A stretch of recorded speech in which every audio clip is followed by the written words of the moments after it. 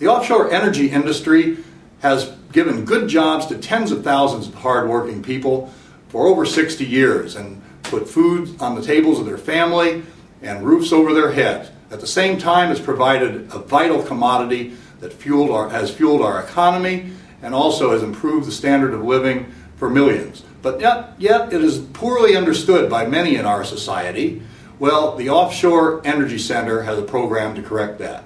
Hi, I'm Mike Killalea with IADC and drillingcontractor.org. And we're here today to talk about the Offshore Energy Center, OEC's Mobile Offshore Learning Units program. The MOLUs, as they're called, are six modular uh, standalone devices at which students go can learn about the uh, impact of energy, the importance of energy, and possible careers in energy. We caught up with the MOLUs in Richmond, Texas and we're here to uh, share some of the conversations with the children that we had there. So we're here with Jennifer Steele at Jane Long Elementary School in beautiful Richmond, Texas. So uh, this is your first time with the MOLU project, yes, right? What do you think of it? I think it's phenomenal. I think that uh, I've, well, I've really been impressed with the way that it incorporates so many different subjects as well. I mean, there's reading in there, there's sequencing, there's inferencing, there's math, there's science. I mean, this is definitely a good use of the morning for my Great. kids. Great. Kids seem to like it? Love it. What do they, can you say what they seem to enjoy most about it? The hands-on aspect of it. Okay. The hands-on aspect of it, and it's. And I'm really impressed at how easily it's flowing with all those kids in there. It could be a disaster, but they're actively engaged in learning. They're asking really good questions and they seem to be really interested in the different parts of the stations. Great. Is there a mix of kids? Of Some kids who maybe their families are in the industry, oil and gas industry, and some who's maybe not, and so this could be like their first exposure? It is, and, and I was telling the director that I was really impressed with it because as, as a student, I don't ever remember being exposed to things like this. And it shows how important the industry really is to our area. And it's really got the kids thinking about careers in the future, which for me as a teacher is very rewarding. Oh yes, it really is, and we really need these young people coming up. Yes. What do you like doing? Uh, I like exploring the, all the stuff that y'all built. So we went down to the museum too, huh? What did you see? What did you like down there? Uh, the, the the tall drill, the where the yellow the yellow thing is, where it goes into the ground. Uh huh. And the tongs. Oh yeah help move the pipe, connect the pipe and whatnot. Pretty good deal. And we're here with De- Debbie Hilbert, who was instrumental in bringing the MOLUs here to Jane Long Elementary in, in Richmond. Uh, Debbie, can you tell us a little bit about the grant that you wrote and why did you, we put through a grant, right? Yes, and yes. Uh, why did you decide to do that and what was the little process?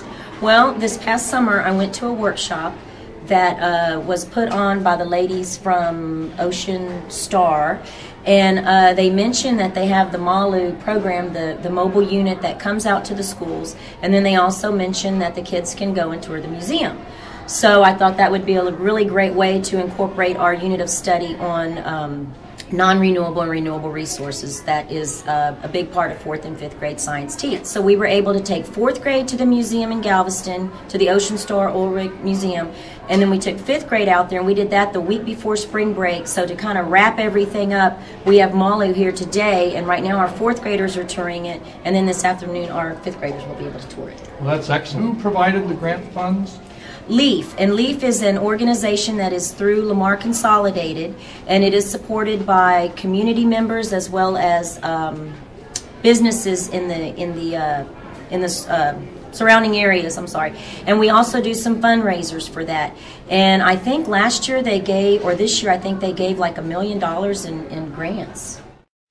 So Tammy Herring is fifth grade science teacher at Jane Long Elementary here in Richmond and uh, she's very excited. She's telling me about the MOLU project from the uh, Offshore Energy Center. So, Tammy, what do you uh, what do you think about the uh, the MOLU project?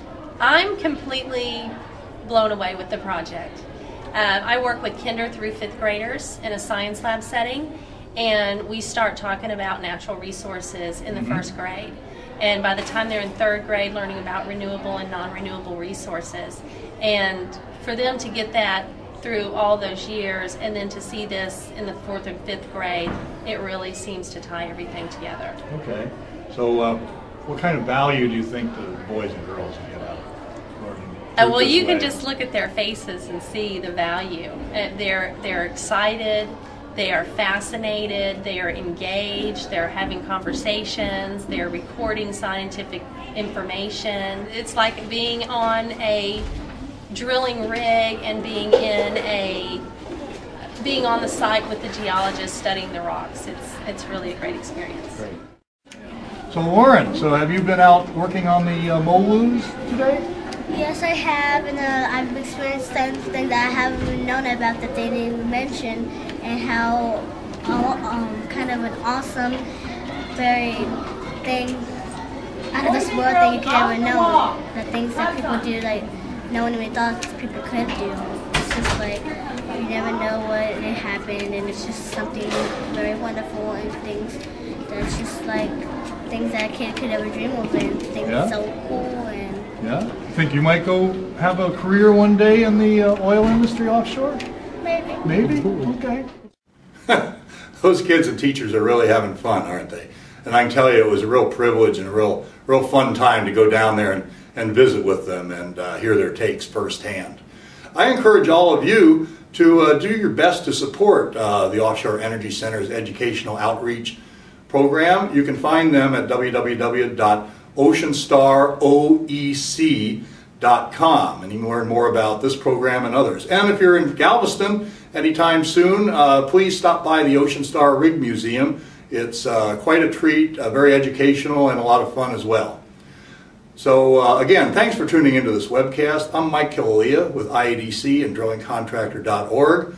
Drill safe and keep turning to the right. See you next time.